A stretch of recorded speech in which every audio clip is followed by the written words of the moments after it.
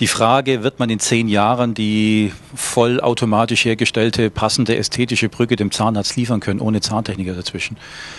Nach meinen 20 Jahren Automatisierung, Zahntechnikverständnis, die ich mittlerweile habe, ist die Antwort ganz klar, nein, das wird so nicht gehen. Man unterschätzt da bei weitem den Input, den der Zahntechniker heute noch liefern muss. Alles, was wir heute automatisiert haben, sind wirklich die einfachen, wenig kreativen und mit wenig medizinisch geometrischem Sachverstand ausgestatteten oder ästhetischem Sachverstand ausgestatteten Arbeiten. Der Zahntechniker ist mit seinem Wissen nicht ersetzbar. Es mag sein, dass die Tätigkeit Gips in einen Abdruck gießen, um ein Modell zu erhalten. Das ist automatisierbar und ersetzbar. Das Design der Brücke, das Design der Okklusion, das Design der Ästhetik wird auch in zehn Jahren nicht automatisierbar sein. Also wenn ein Patient zu mir kommt äh, in mein Labor und ich äh, nehme ein Eingangsfoto, eine SIT, ein SIT-Foto mache ich von ihm mit meiner digitalen Kamera, zeige ihm das Bild gleich am, am Flachbildschirm vergrößert, dann habe ich praktisch, die, dann ist die Tür offen, dass ich dem Patienten erklären kann, so und so schaut es aus, das können wir in diesen verschiedenen Materialien machen. Und sage ihm auch gleich, das kostet so viel.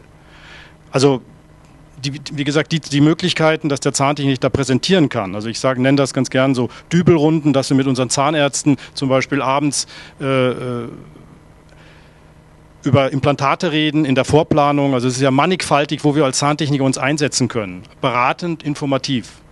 Also das ist für mich so ein Teil der Zahntechnik, der, wo wir uns noch mehr darum kümmern müssen. Nicht nur, ich sage es immer, den Kopf auf den Pfeilkloben auflegen lassen, weil das machen wir Zahntechniker gern und sind am Jammern, sondern dass wir wirklich nach vorne schauen und sagen, wir sind innovativ. Warum können wir nicht auch die, die Kapazitäten, die wir noch haben, nutzen, dass wir zum Beispiel Ohrringe oder Schmuck anbieten? Also ich werde auch immer aus der, von Modelleisenbahnbauern zum Beispiel gefragt, äh, kannst du mir eine, äh, eine, ein kleines Lenkrad oder ein Zahnrad fräsen? Also mit dem Scanner kein Problem. Ich scanne einfach das Zahnrad kurz, kurz ein und lasse es dann rausfräsen. Aus NEM, Titan oder Zirkon. Und die sind bereit, gutes Geld dafür zu bezahlen. So eine HNO-Märklin-Eisenbahn äh, kostet zwischen 5.000 und 10.000 Euro. Also neue, das nennt sich Diversifikation. Sie werden es kennen, Herr Dr. Schuster, ruhig, noch, ruhig auch nach neuen Märkten und neuen Produkten schauen.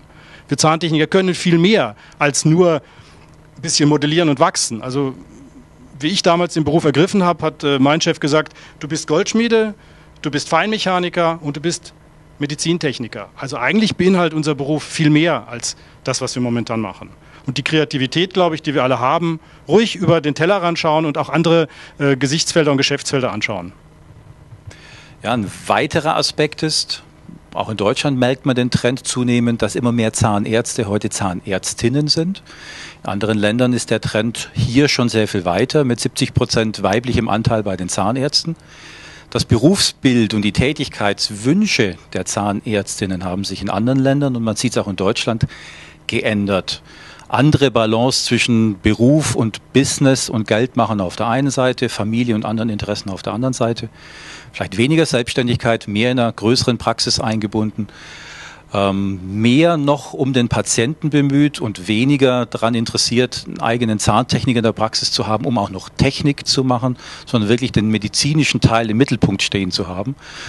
Äh, wenn wir diesen demografischen Wandel sehen, den wir wirklich alle draußen schon beobachten können, wird das technische Know-how, das die Zahntechniker als Betriebe hier liefern können, wichtiger sein noch als heute. Es wird nicht mehr so viel Handwerk sein, es wird viel automatisch sein, aber der Verstand und das Wissen des Zahntechnikers wird noch unentbehrlicher sein als heute. Also da gibt es viele Ängste vor den Automaten, aber mein erster Kontakt zur Zahntechnik waren Demonstrationen von Zahntechnikern in Ellwangen und Aalen gegen die ersten Fräsmaschinen beim Zahnarzt vor 25, 30 Jahren. Ja, man braucht sie immer noch. Das wird sich auch in den nächsten zehn Jahren nicht ändern.